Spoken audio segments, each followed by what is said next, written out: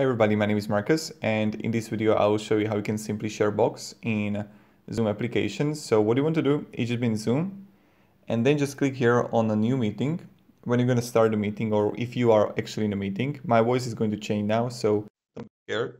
And now you want to click on share and you're going to see here box. And now like the app is going to launch and you just have to wait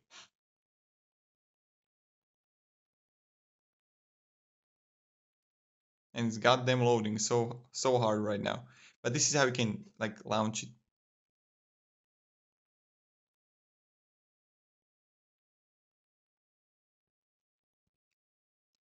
God damn it takes such a long time. So this is how you can launch a box. And now you just have to log in and that's it. I mean, I don't even know if it's going to load. I don't know what is with the Zoom application or with my internet. Who knows? It's crazy to me. But this is how you do it.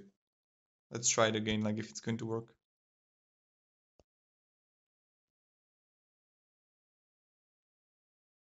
It's loading again. So this is how you can do it. I know it's like this is not finished tutorial, but it is what it is. Thank you very much, everybody, and have a great day and goodbye.